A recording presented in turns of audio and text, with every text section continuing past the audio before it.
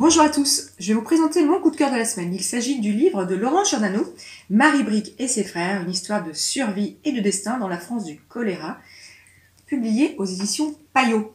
Dans cet opus, l'auteur retrace avec moult détails la vie de la famille Brique, une famille mosellane. Mariée en novembre 1834, Marie et Jean Brique avaient tout pour être heureux et mener une vie tranquille au cœur de leur village de Gavis. Lui est maréchal ferrant, elle est couturière. La famille s'agrandissant, avec l'arrivée d'un petit Nicolas et d'une petite Marie, le couple acquiert la maison familiale des parents de Marie. Un jour de printemps 1839, Jean Brique décide de prendre la route pour Paris.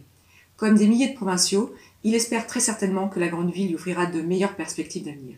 Marie enceinte leur troisième enfant le rejoindra après la au monde de Michel.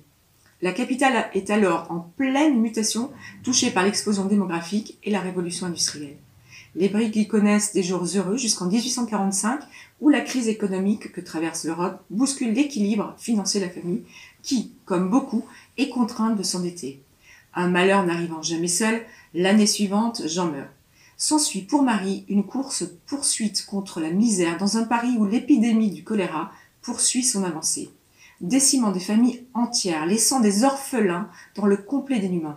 C'est justement ce qui attend les trois enfants qui voient mourir leur mère alors qu'ils sont dans une situation dramatique, à la fois matérielle et affective, les trois enfants vont être placés dans des structures différentes. Les frères et la sœur perdent ainsi la maigre consolation d'être ensemble.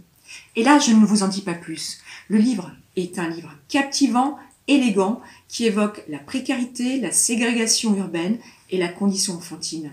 Une fresque historique remarquablement bien menée, qui n'oublie pas d'évoquer les insurrections qui ont jalonné le XIXe siècle et qui ont fait entrer le peuple de Paris dans l'histoire.